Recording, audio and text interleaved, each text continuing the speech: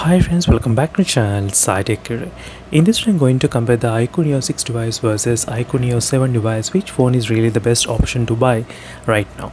So right now friends, in the Amazon website, there's a uh, sale going on in the iQOO Neo 7 device, so which did release recently. And I'm getting so many comments asking me to compare with the iQOO Neo 6 as well. So which is the best phone to buy? In this video, let's discuss few categories which phone is clear winner regarding the best phone performance. So first thing is that regarding the price. So when it comes to the price, the iQOO Neo 7 is offered about 28,499 as you can see. And iQOO Neo 6 can get up to 3000 rupees discount after this kind of offer. So overall the price will be around uh, 26 uh, rupees. So 26 on the iQOO Neo 6 and 28499 on the iQOO Neo 7 so far if you try to keep this price into the consideration then definitely the iQOO Neo 6 slightly kind of less price. But that's um, because of the Neo 6 which has got the Snapdragon 870 processor and whereas the Neo 7 which has got the Dimensity 8200 processor in this device? That's something slightly uh, highlight regarding the performance wise but in terms of the 90 fps the battlegrounds mobile game and the pubg is supported only in the Neo 6 still in the Neo 7 the game is not optimized but I was able to play the Call of Duty in the highest graphics without any issues. And even the PUBG new state also 90 FPS is supported in the Neo 7 but if you are playing the PUBG and the Battlegrounds mobile game Neo 6 90 FPS is working absolutely fine.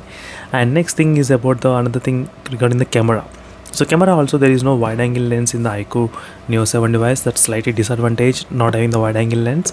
So in the iQOO Neo 6 they do have the wide angle lens in the iQOO Neo 6 device but not in the iQOO Neo 7 device. So the iQOO Neo 6 has got wide angle lens advantage along with that uh, 90 fps in the PUBG and the Battlegrounds mobile game. So other than that the battery time taken to charge is about close to 25 minutes of time 50 percentage in 10 minutes is exactly as it is. I'm getting the charging speed without any issues as well in the iQOO Neo 7 device. So regarding the overall heating when it comes to the temperature and the heating while gaming the snapdragon 870 will be able to handle pretty much good regarding the consistent maintaining low temperatures than the Dimensity 8200 and the iQOO Neo 7 has got the 8 plus 8 GB of external RAM and iQOO Neo 6 has got 8 plus 4 GB of external RAM. That's slightly highlighted here and iQOO Neo 7 has got some kind of new type of motion control gestures. I did upload the separate videos on that motion control gestures. So make sure to check out my channel as well, Sai Tech Guru. And also don't forget to check the playlist videos of the iQOO Neo 7 device for more updates on this iQOO Neo 7 smartphone.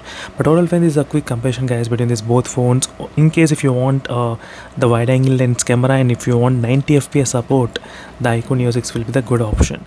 So but overall the price is really very good for the iQOO Neo 7 device at this moment offering 5000 mAh of battery very good regarding the battery backup as well and fast charging also. So for this kind of price range. So meanwhile signing off friends thank you for watching and stay tuned for more updates. And iQOO Neo 7 has got more 5G bands also. That's also advantage in this device. And then stay tuned. Signing off and bye